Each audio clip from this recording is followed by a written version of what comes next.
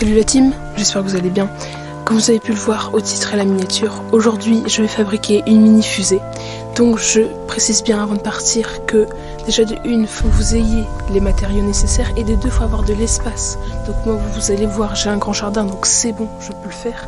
Mais vous euh, faites bien attention à pas l'envoyer chez les voisins ou autre part. Donc on place directement à la vidéo. Donc pour faire la fusée, vous allez avoir besoin de vinaigre, de bicarbonate de soude, d'une bouteille, donc euh, une badoie ou voilà, et euh, d'un bouchon et du sopalin.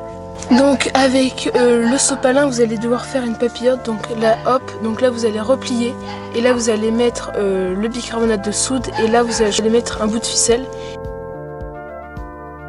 Donc en fait, il faudra pas lâcher où j'ai mis ma main là, mais il faudra lâcher de l'autre côté. Paf, et après, on va retourner la bouteille. La.